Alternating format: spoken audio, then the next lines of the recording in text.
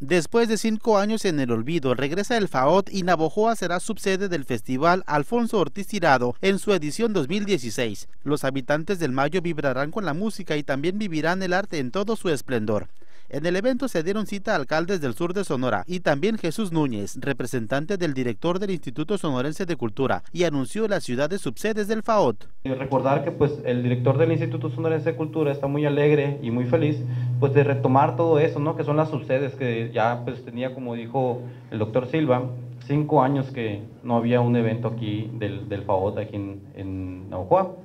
Eh, las subsedes son Hermosillo, Ciudad Obregón y Navajoa.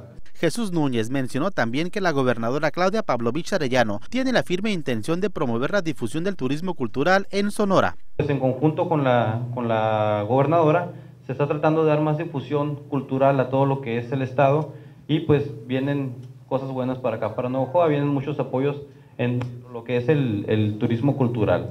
Por su parte, el presidente municipal de Navojoa, Raúl Silva Vela, agradeció a la gobernadora y el director del Instituto Sonorense porque los municipios del sur serán subsedes del FAOT.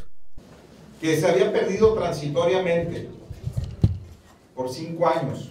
Y que hoy, un motivo de mucho agradecimiento al Instituto Sonorense de Cultura, a nuestro amigo Mario Huelfo Álvarez Beltrán, director de ese instituto, y por supuesto a nuestra gobernadora, Claudia Pavlovich Arellano, las intenciones de ser incluyentes para los municipios del sur, para que formemos partes de, parte de la subsede.